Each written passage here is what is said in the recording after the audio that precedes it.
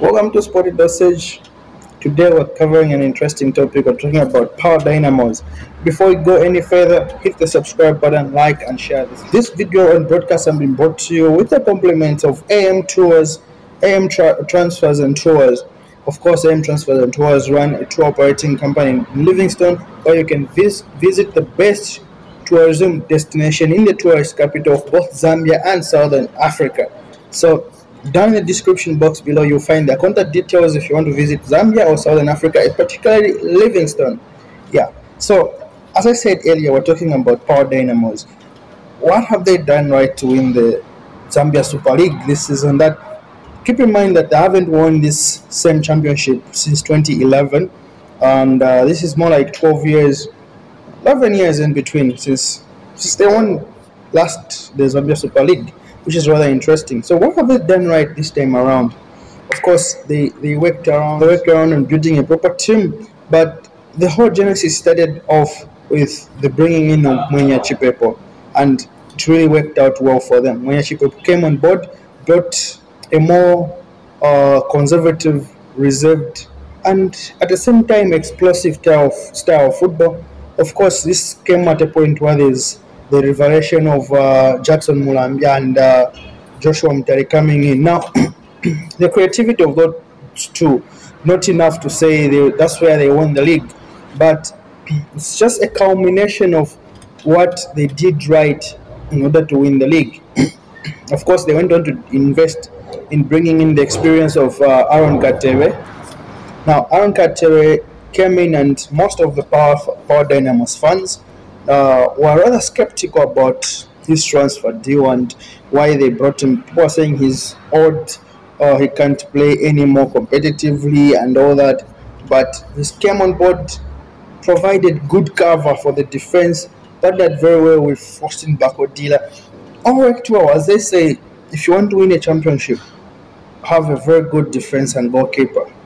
You want to win games, have a very creative department in getting you goals and the strikers. Now, in terms of getting the strikers, they had Kennedy Musonda, of course, at the genesis of the 2022-2023 season, but he went on to leave for the runners-up of the CAF Confederations Cup, which is uh, Young Africans Sports Club. Now, here's the funny thing on how they actually worked out very fine. If it was any other unforeseen proper business handling, they could have gone on to crumble and lose form. But after they lost Kennedy Musonda to Young Africans, they went on to bring in someone who's basically, I would say, the best transfer business done in Zambian football currently.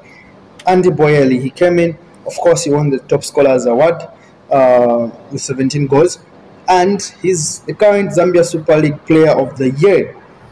Imagine that they are the champions and they have the Zambia Super League Player of the Year in their squad, which is rather very interesting. And why I say so, like the best business transfer deal done in the Zambia Super League because he came in to fit in like just a glove, a hand in the glove, perfect fit. He got the goals for them, got the, the assist for them, provided threats for them. Now, this was very important to say because Power Dynamos, with together Forest Rangers in the league, uh, these are the teams that went on to have the best defenses. But in terms of getting uh, a striking and scoring goals, Power Dynamos really had a good source, really had a good source. Imagine Kedims on the left when uh, he was lead, he was at 11 goals. Then uh, Boyeli came in and is all together with the goals that came with from Chambishi Football Club with Power Dynamos altogether 17 goals, meaning that they all had they had a good sense of winning games, and uh, Joshua Mutale bringing in the assists with Mulambia coming in the midfield scoring goals for them as well. So pretty much a good team uh, in terms of winning the championship. But going in the CAF Confederations Cup, where do they need to touch?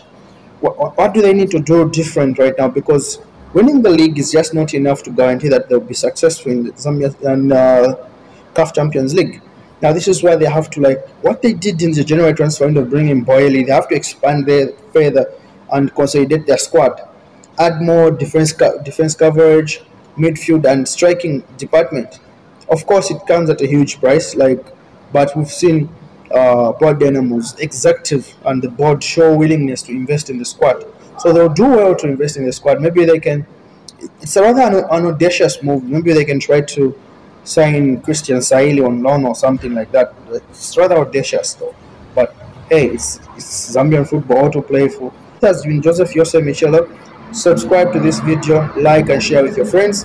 Thank you very much. Remember, this video has been brought to you with the courtesy of AM Transfers and Tours, the best tour operating company in Livingstone, the tourist capital of Zambia.